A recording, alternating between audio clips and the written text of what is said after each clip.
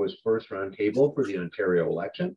Today, we're meeting with candidates for the NDP, um, Chandra Pasma of Ottawa West Nepean, my riding, and Melissa Con Coenraad. Did I get that right, Melissa? Thank you. Um, welcome, Chandra and Melissa, and thank you to the members of the community who have joined us this morning. Our format today will be as follows. Our candidates will have up to two minutes um, strictly uh, for opening remarks. Um, uh, with appreciation to our Communications and Community Relations Committee members. They have prepared questions on issues of concern to the community that I will be posing, and Chandra and Melissa will have an opportunity to answer. If you have a question for our candidates, uh, please submit them using the chat function to the moderator, and Federation CEO Andrea Friedman will moderate a Q&A. After the Q&A, each candidate will have a brief opportunity for closing remarks. And I'd like to add that Melissa has a prior engagement at 8.30, so she will have to leave before we finish, but we thank you for joining us. Let's begin with our opening remarks, and I'm going to ask Chandra to go first. Thank you, Michael. Sorry, still morning voice. Uh, good morning, everyone. I'm Chandra Pasma. I'm the Ontario NDP candidate in Ottawa West Nepean.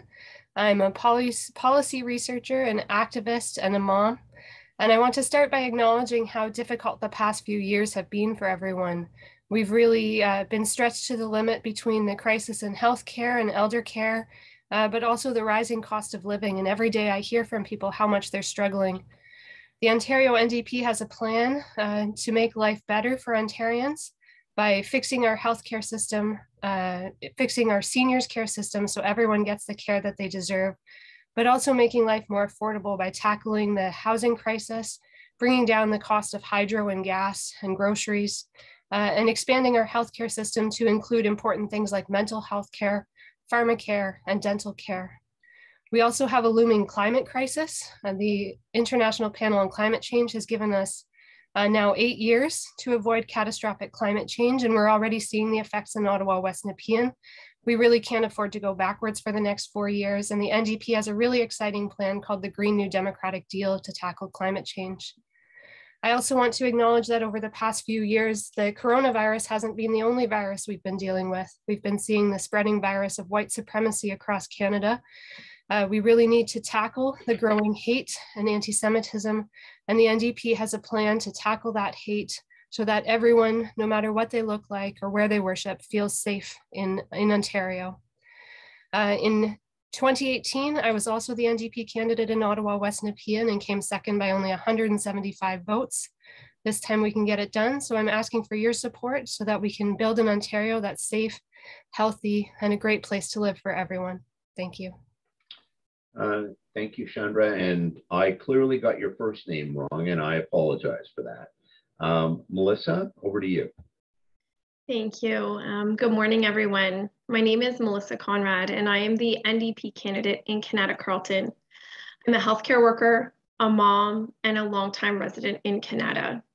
This is my third election running with the NDP, and each time we have increased the vote here in Kanata Carleton. I've been a labor activist for many years and union president representing 18 hospitals across Eastern Ontario, mediating positive resolve to issues that have arose. I'm in my third term on the Hospital Professionals Division Provincial Executive and have recently been elected to the Ontario Public Service Employees Union Executive Board. I am asking for your support for the NDP in my riding and all ridings to elect a government that works for you, that invests in the services that you need.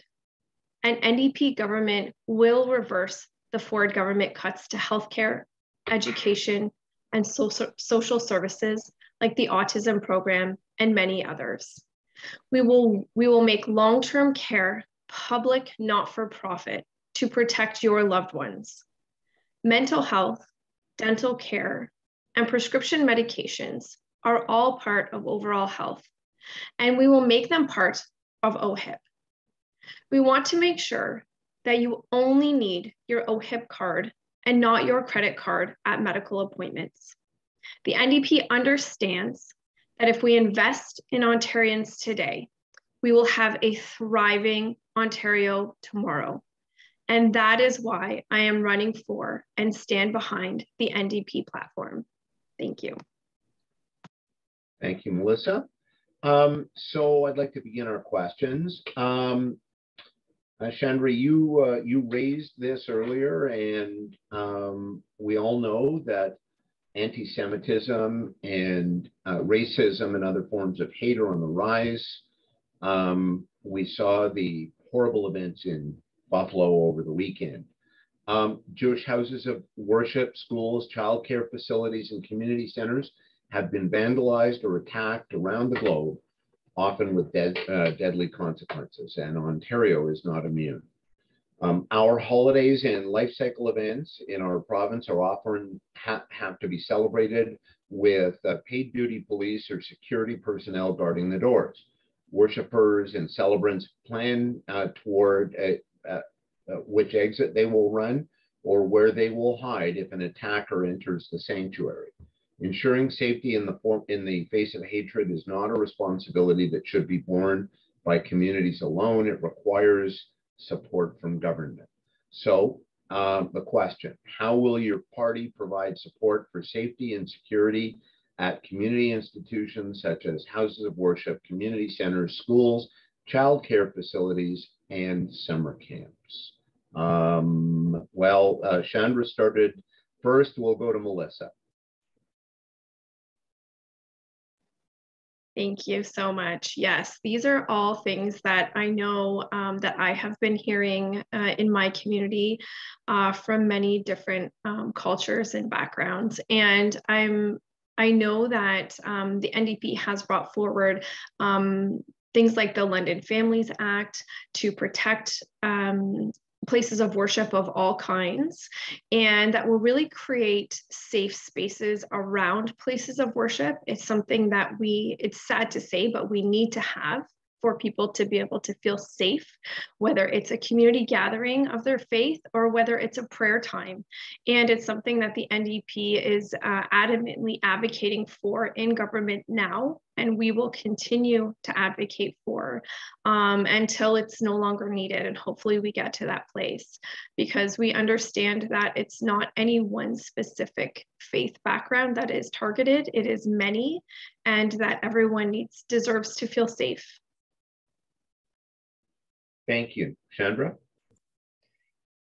Yeah, this is something that's incredibly disturbing the number of uh, hate motivated attacks that we've seen and the fact that they've been on the rise. Uh, you know, I'm a Christian who goes to church every Sunday. Currently, that's on Zoom, so that's not a problem. But I have never in my life uh, felt unsafe in church. I have never in my life come up with an exit strategy. I have never in my life needed security around church there's a, there's a real imbalance here and a real need to protect those who are most at risk. Uh, so the Ontario NDP has a plan to provide uh, for security costs uh, for religious communities, including installation of security cameras and the hiring of security guards. Uh, we also, as Melissa mentioned, have the Our London Family Act, which would create uh, safe zones around religious institutions to prevent intimidation or aggression. Now, obviously, harassment is always a crime, uh, but you know this adds an extra layer of protection uh, for those institutions. That um, that means that uh, these crimes will be uh, aggressively prosecuted, but we also need to take action to prevent these crimes from developing and taking place in the first place. And the Ontario NDP has a plan to develop an anti-racism strategy and an action plan on hate crimes that will uh, ensure that we are preventing these crimes from taking place in the first place so that it's less about security and everybody has the freedom to worship or to participate in community events without fear. Thank you, Chandra. Um, one of the things I, would like to point out is that yes, all faiths and cultures need to feel safe in uh, their community spaces. Um, but um, uh, statistics show that attacks uh, against the Jewish community are way out of proportion. I mean, many times the uh, proportion of the population represented by the, the Jewish community. Um, as an example, the Holocaust Knowledge and Awareness Survey conducted by the Claims Conference demonstrated that an alarming 62% of Canadian millennials were not aware that 6 million Jews were killed during the Holocaust, and 22% have not heard or are unsure, uh, unsure if they have heard of the Holocaust at all. So, two questions. First, will your party draw on expert research and community input to ensure that anti-Semitism and Holocaust education are systematically integrated within educational curriculum and anti-racism initiatives? Um, Melissa, you first. Sorry, Chandra, you first. No problem. So as part of the Ontario NDP's anti-racism strategy, uh, it will involve a strategy par uh, particularly around schools um, to fight all forms of systemic racism so that all children feel safe, uh, including Jewish children. Uh, but part of that strategy is uh, that students will learn about the history of the Holocaust uh, so that we fight this spread of Holocaust denial and talk specifically about anti-Semitism uh, but the Ontario NDP also has the commitment to erect a Holocaust memorial on the grounds of Queen's Park so that it's not just within schools, uh, but everyone is reminded about uh, the awful uh, experience of the Holocaust and our commitment to never allow that to happen again. Thank you. Melissa?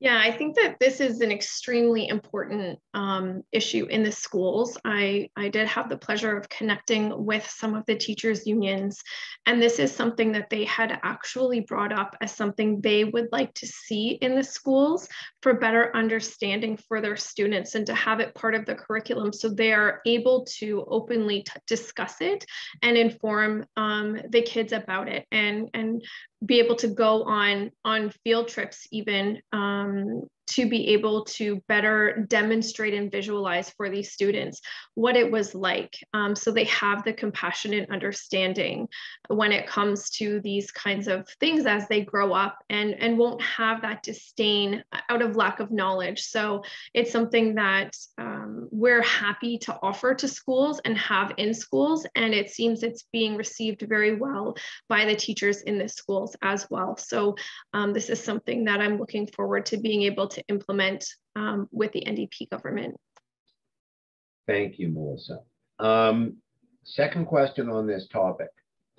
Um, as you both no doubt know, um, the government of Ontario adopted by order in council the IHRA definition of anti-Semitism.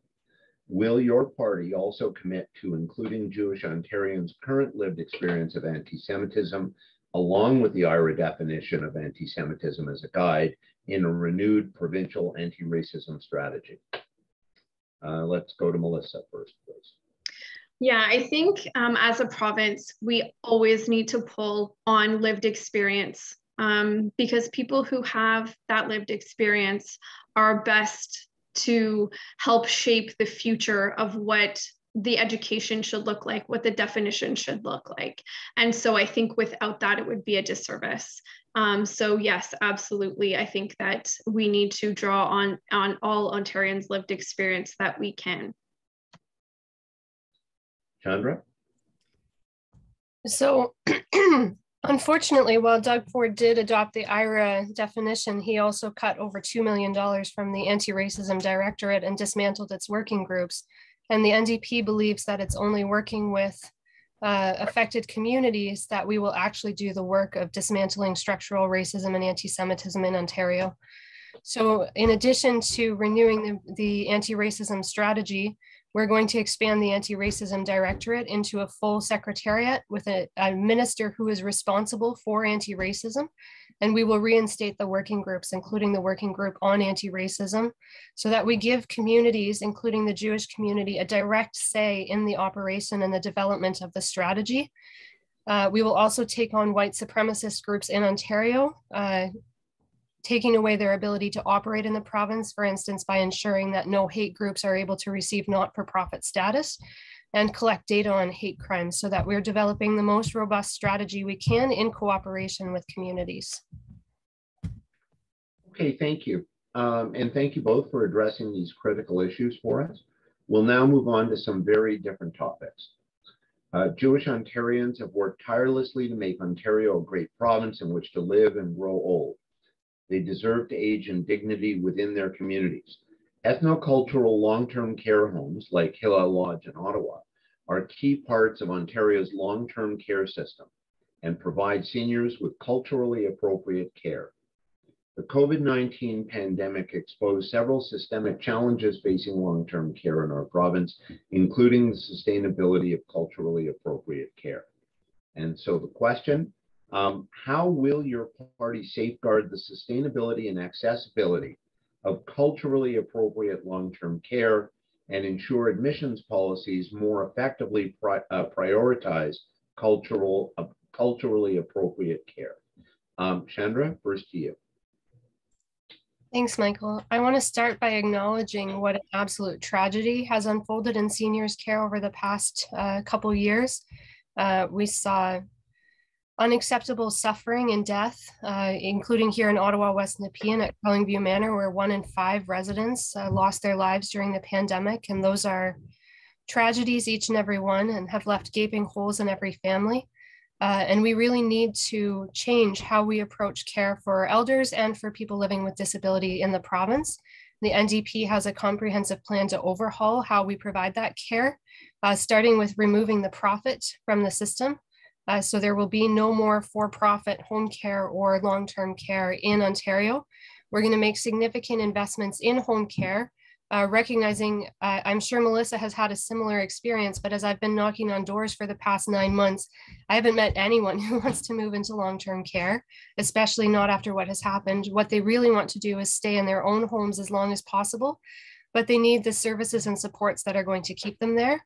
So we're going to expand home care, uh, make it uh, community-based and not-for-profit and regulate the services that people receive so that everyone receives the same high level of care uh, for some people, that is medical care. For others, it could include things like meal preparation. Uh, and because it's community-based, there would be a role for uh, community-based social services like Jewish community services to provide that home care.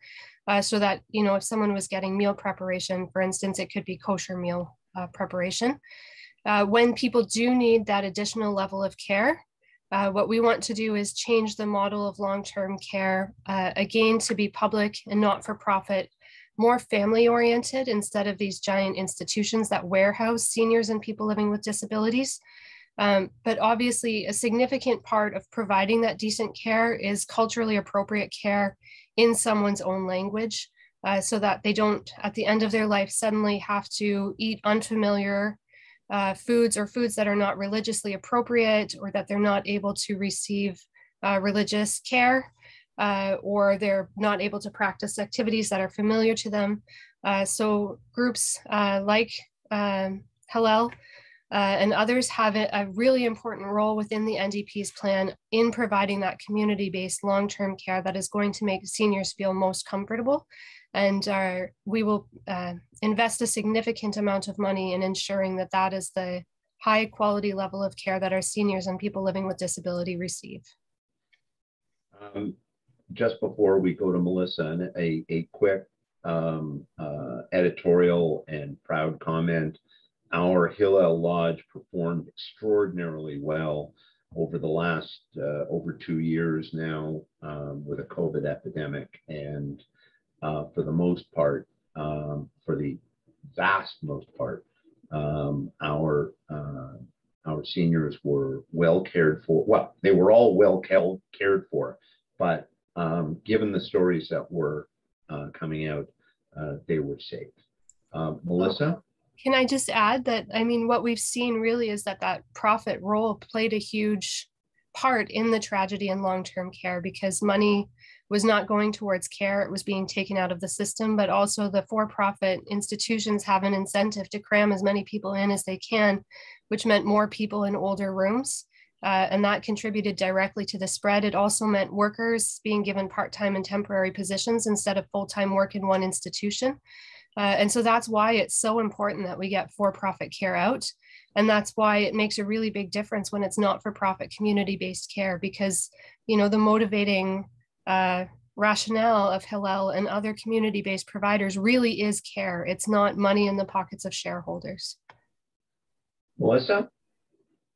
Yeah, I don't have too much to add to what Chandra said. That was a very robust answer. But the one thing I will add that I'm really looking forward to seeing in this province, and it has started, but not very much, is building the smaller family style care homes instead of the institutional style homes, which will make it easier um, for people to uh, find culturally appropriate representative homes where they can stay with like-minded families like-minded people and continue on with their with their face and with food requirements. It also has been proven that in these smaller family-like homes where you sit around um, a more dining table experience rather than a cafeteria style experience um, that our loved ones do stay healthier they live longer they are on less medications they have better mental health.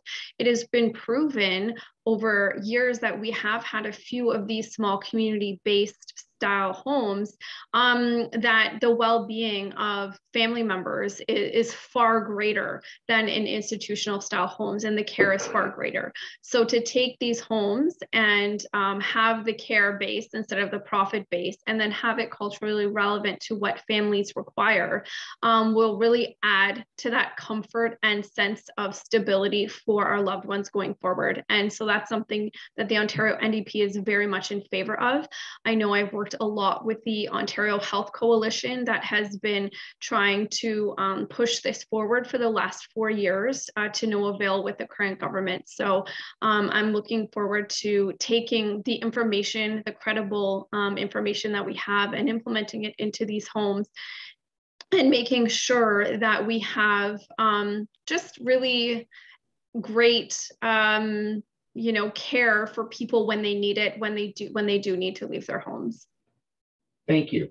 Um, the uh, last of the scripted questions. Poverty in the Jewish community has been on the rise in Ontario for decades. One of the most concerning trends is food insecurity amongst Jewish seniors in Ontario who are unable to access affordable kosher food. Will your party provide support to ethno-cultural Meals on Wheels programs to help address food insecurity for the most vulnerable? Uh, Melissa, over to you. Okay, I'm just gonna give a quick answer on this. I really need to hop off, but um, um, yeah, I think that I think that that's part of you know that's part of home care. That's part of investing in our seniors being able to stay home. Is being able to have the access to culturally relevant foods um, and care, so that people can get in-home care in the language that they speak dominantly, as well as having someone that will respect their culture and their faith when they come into their home. So the Meals on Wheels program is part of that, and we do know that um, it needs some investment right now to expand and to maintain with cost of everything rising. And that's something that um, we think is very important uh, in efforts to keep seniors home as long as possible and with the um, highest respect and care that we can offer them um, in their home so long as they can stay there. Thank you so much for having me. I am Thanks going to hop off. Us, I appreciate Bye. Chandra, over to you. Same question.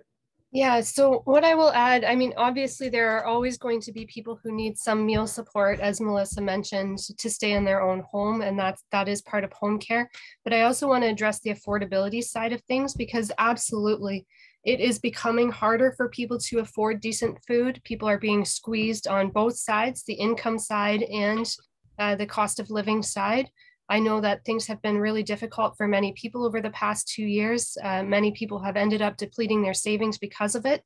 Uh, so we really need to address the cost of living and make it easier for everyone to afford decent food along with decent housing, uh, regardless of what their circumstances are. So the Ontario NDP does have a plan for a food strategy uh, to ensure that everybody has access to affordable, high quality food.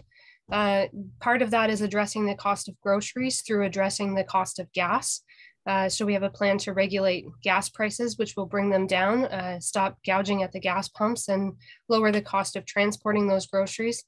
Uh, for many people, their biggest cost is actually the cost of housing. We've had a real crisis develop in Ontario uh, whether people own or rent. Uh, housing has become incredibly unaffordable. I hear heartbreaking stories every day from people who are not uh, sure uh, they're going to be able to maintain their current uh, residence and what will happen to them next, uh, what they might be able to afford and where they might have to go in order to be able to find affordable housing. So the NDP has a plan uh, to address the housing crisis that makes it more affordable both on both sides, whether you rent or own, so for renters, that means reinstating rent control and vacancy control so that you pay what the last tenant paid and your landlord has no incentive to squeeze you out because the people down the hall are paying $500 a month more and they might get more money from the next tenant. But also expanding the supply of affordable homes. So directly investing in uh, social housing and non-market rental housing uh, through the creation of a public agency in Ontario that would be responsible for that expanding the amount of co-op housing in Ontario, uh, but also uh, removing exclusionary zoning. So uh, we can develop more affordable homes, including the missing middle. So duplexes, triplexes, stacked townhomes instead of uh, just monster uh, single family homes on giant lots. Um, but also on the income side, we have another a number of measures, including setting the minimum wage at $20 an hour and doubling social assistance rates so that uh, the people who are the most vulnerable uh, can actually afford to pay food, pay for the bills, and pay rent. Okay, um, thank you for your answers. Um, we will now move to the open forum Q&A moderated by Federation CEO Andrea Friedman. Um, as a reminder to those watching, please submit your questions in the chat to the moderator and Andrea will do her best to get to everyone. Andrea, good morning. Good morning. Thank you all for being here.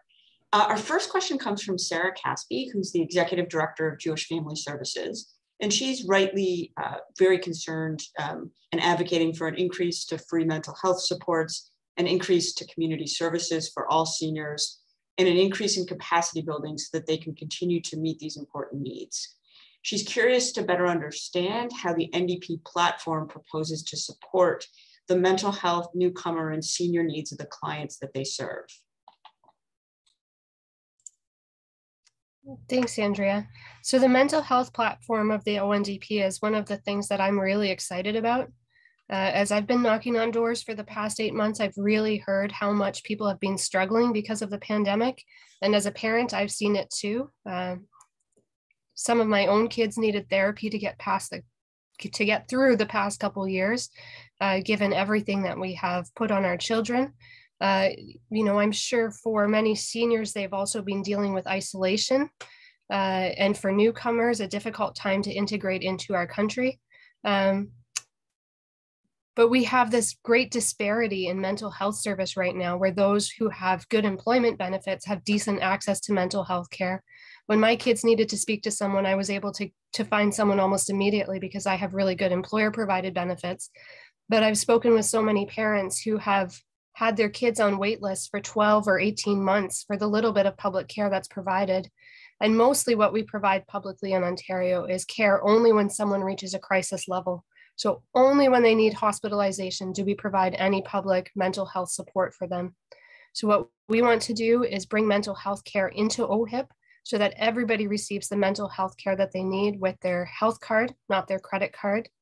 Uh, and I know this wasn't part of the question, but I just want to address specifically for kids because this is also part of our plan, recognizing how much they've struggled. So, in addition to the mental health care provided through OHIP, we also want to hire additional mental health workers for schools so that problems get quickly identified and addressed for kids as they make up for the last three years of disrupted schooling. Uh, in, in for others, um, definitely there's a lot of communities that are struggling and we need to provide those community supports. We need to make sure that everybody has access to housing. Uh, you know, I've seen lots of friends and neighbors uh, sponsoring Ukrainians right now. One of the biggest concerns is always, always finding affordable housing. Uh, we need to make sure that that housing is available for everyone, uh, regardless of which community they come from, because uh, that's really where security starts from and then making sure that we have the other supports in place. So access to decent food, addressing the cost of living, and making sure that everyone has what they need to thrive in Ontario. Thank you for that. I guess the flip side to all these investments that are um, needed and that the, are in the NDP's platform around um, social investments are, are, how to pay for it. And that's really uh, Michael Korber's question, which is, um, can you perhaps address the revenues of where, where this will come from uh, to pay for all these enhanced social supports? Yeah, cost is such an important question because right now what we have is a situation where the costs of underinvestment by liberal and conservative governments are being imposed on those who can least afford to pay them. So every day I speak to somebody who has a story about waiting 10 to 12 hours at the Queensway Carleton Hospital for healthcare, uh, stories about people who have called ambulances and they haven't come. We've seen the toll imposed on our seniors and on our kids uh, of not investing in healthcare and seniors care and education. What the NDP believes is that those in our society who can most afford to pay should be paying the cost, not those who can least afford to pay. So we have a tax freeze on individuals earning less than $200,000, but we're going to expect those who have profited from the pandemic and from our housing crisis to pay more. Uh, so that does include uh, tax increases on the highest income earners, but also on activities like speculation in the housing market, which have been driving up housing costs without actually providing homes for anyone. Sorry, I'm just trying to uh, thank you for that. It's uh, challenging to see people are putting questions in two different places. Um, right. So uh, I think um, there's a couple of questions that kind of have some similarities to it. And um, you know, before I ask them, I just want to express how grateful we are to you for for making the time today um, for us.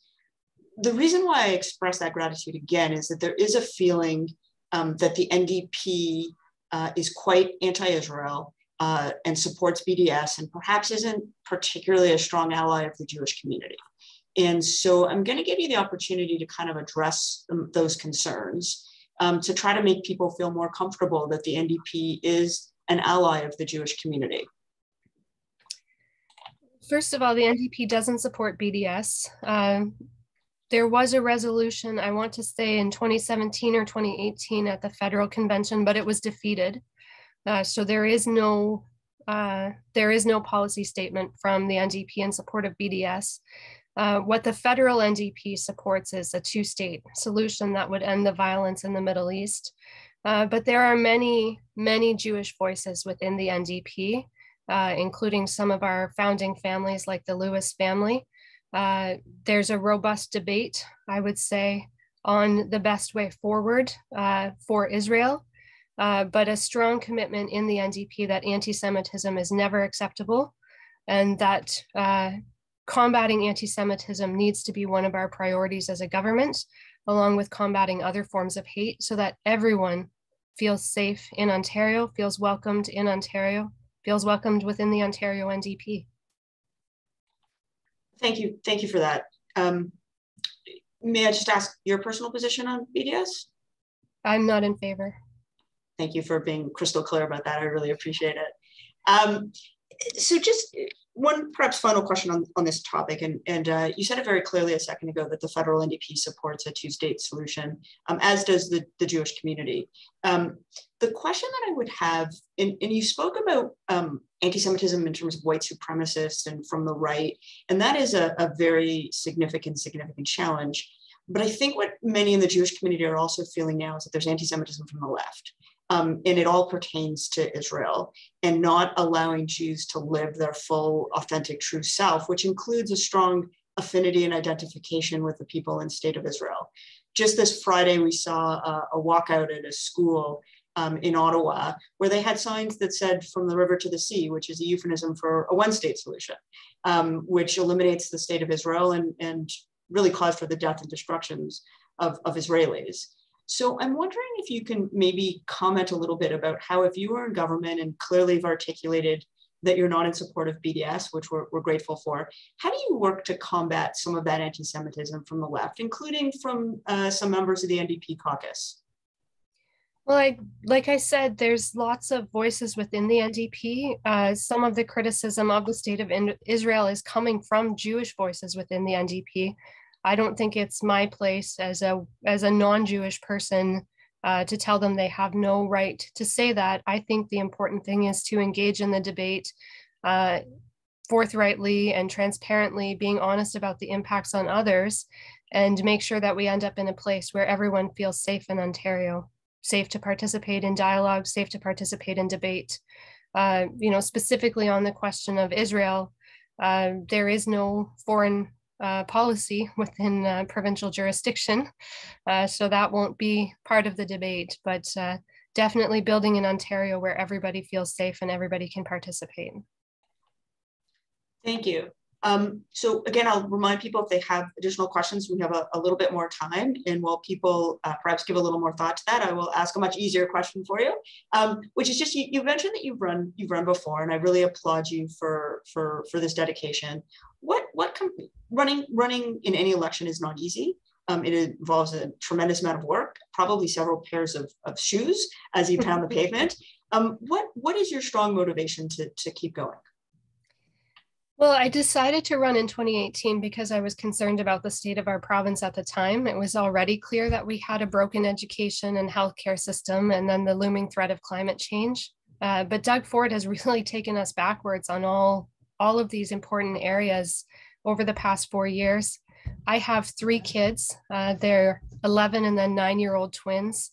Uh, they're lovely, smart, funny, engaging kids. I really care about what's going to happen to them in the future. And it's just incredible to me that we would build a society that doesn't take care of one another, that allows people to be unhoused, allows people to struggle without adequate income, allows the climate to be destroyed around us, and that we don't do anything about that. I, I really really believe in community solidarity, really believe in working together on the major challenges that we face. And uh, you know, because this is a faith based group, I will also share that my own faith is a big part of my motivation in this. Uh, so I grew up. Uh, I grew up in a Calvinist dom- denomination. I'm now Anglican, but I, I really feel uh, a strong sense of uh, calling as part of as part of being a person of faith to do what I can uh, to make the world a better place. I know you have a similar concept in the Jewish faith of Tikkun Olam, of healing the world. Uh, and so, you know, that that that's what I feel. If if I can do something, I must do something. That's part of my calling as a person of faith. Well, that's great, and thank you for sharing a bit more about yourself um, personally, in addition Andrea, to uh, advocating yeah. on the positions that are important to you. Um, Andrea, if I may, I I I have another question that uh, that I'd like to ask. Oh, sure. Okay. Thank you. Um, and Brownie Point Chandra for getting Tikkun Olam. Um, um, uh, you know, that wasn't in our final Jeopardy round, but, uh, uh, but thank you for that. Um, uh, this is completely off the wall, but you you you you mentioned we were talking about the election campaign and and um, um, extra brownie points as well for doing this with twins. Um, that's um, uh, not an easy thing. Um, but it, it has been a, a, question that has occurred to me, not unique to the NDP, um, uh, uh, but um, I've been disturbed at the continuing proliferation of election signs um, and everywhere. And I look at them and I think that they are a giant waste of wood and paper um, and a giant waste of financial resources for uh, election uh, for uh, election campaigns. I, I, just wondered if you had any thoughts about the um, proliferation of election campaigns, and not so much on on people's lawns, because I think that you know when you see your neighbors making a particular decision, that's one thing, but it's you know it's the corners and and you know I'm in your riding um, uh, I passed about a zillion campaign signs uh, driving out of Centrepointe down Baseline Road to the 417 this morning. I just wondered if you had any thoughts about whether we ought to cut back on election signs. I am with you 100%, Michael. they are expensive. They're not beautiful to see all over your riding. They're not environmentally friendly.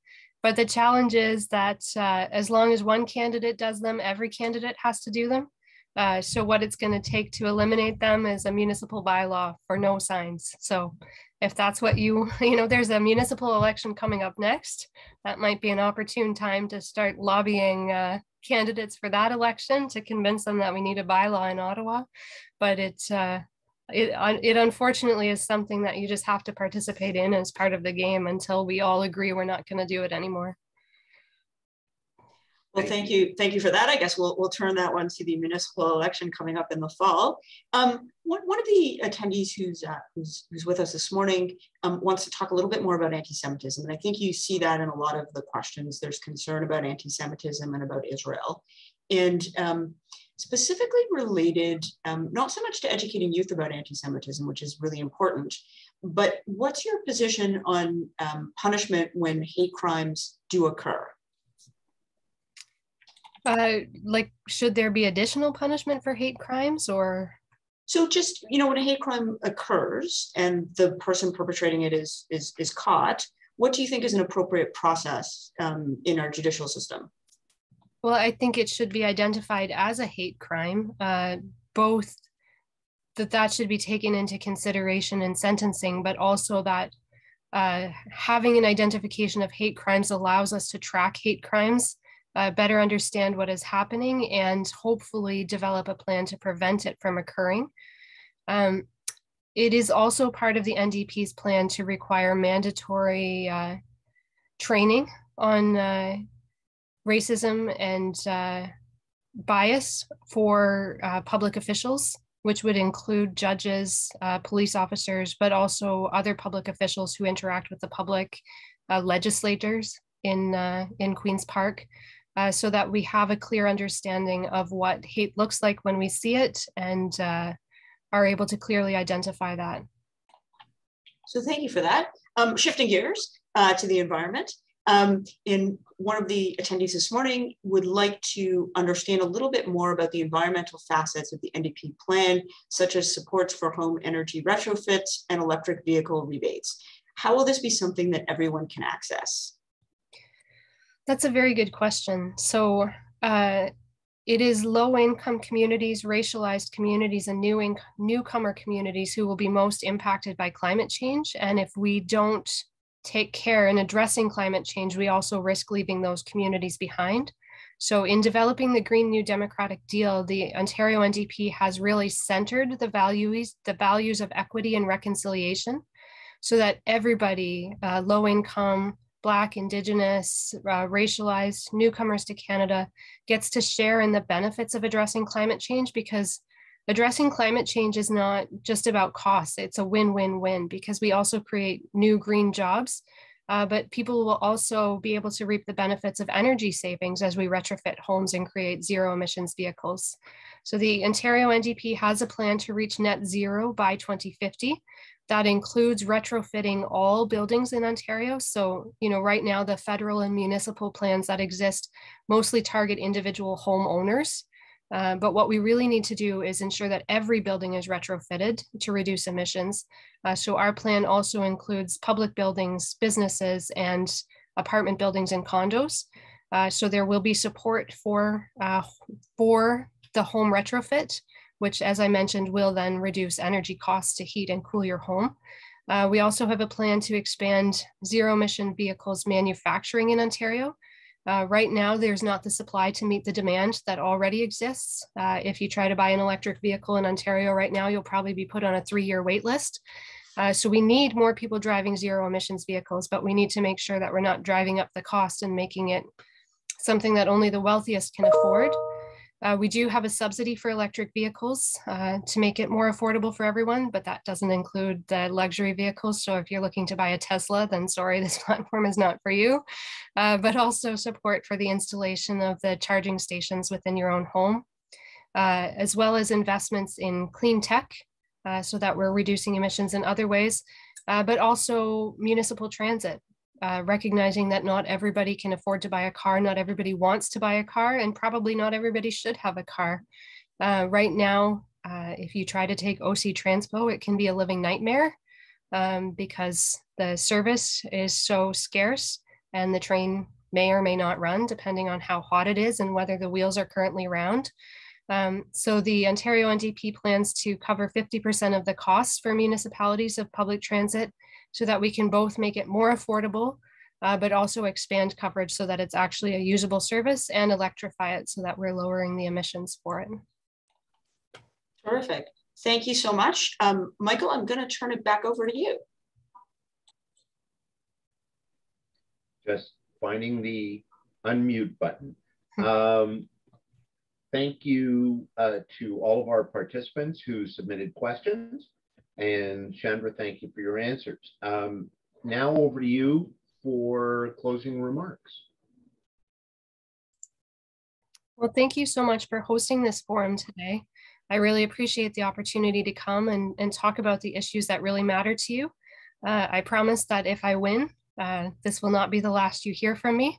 There will be many such more meetings uh, where I can come and hear from you what is important to you and how we can work together and share what's happening at Queen's Park and in the riding, uh, because I really want to be an ally to your community and work with you to build and fix what matters most to you. So thank you again for taking the time.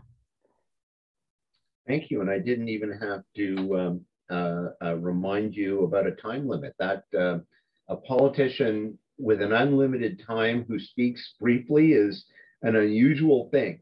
Um, so thank you. And um, uh, we knew that this was a hectic time for you, but with three three kids, uh, a, a, pair of them twins, uh, this is a hectic time for you, and we appreciate you making the time to be with us um, this morning. Uh, thank you to Andrea. Thank you to uh, those who have been watching and submitting questions. Um, thank you all for joining us and have a great rest of your day. Good luck out there. How many pairs of shoes have you been through? I'm only on my second. Okay. There's still time before yeah. the second. The second may be done before then too. Have a wonderful day, everybody. Thanks. You too. Okay. Bye-bye.